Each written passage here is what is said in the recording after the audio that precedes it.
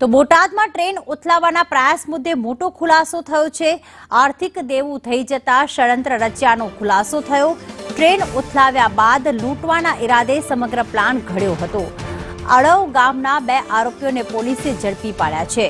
તો રણેશ સલિયા અને જયેશ બાવળિયાને પોલીસે ઝડપ્યા. પચીસ સપ્ટેમ્બરે કુંડળી ગામે ટ્રેન ઉથલાવવાનો પ્રયાસ કરવામાં આવ્યો હતો. આરોપીઓની વિગત આપું તો ત્યાં બાજુમાં જ ગામ છે અળવ ત્યાંના રહેવાસી છે રમેશ ઉર્ફે રમૂડિયો. સલિયા, જે પંચાવન વર્ષની ઉંમરનો છે, ખેત મજૂરી કરે છે, આ બનાવાળી જગ્યાની નજીક. અને એનો સાથીદાર છે જયેશ ઉર્ફે જલો. બાવળિયા. એ ચોવીસ વર્ષની ઉંમરનો છે. એ પણ ખેત મજૂરી અને હીરા ઘસવાનું કામ કરે છે. આ બંને લોકોને આર્થિક રીતે દેણું થઈ ગયેલ છે.